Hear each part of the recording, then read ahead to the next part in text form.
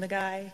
Did you ever joke about droning us on? Well, I, I, I don't know anything about what he's talking about, and uh, I don't recall any joke. Um, it would have been a joke if it uh, had been said, but I don't recall that.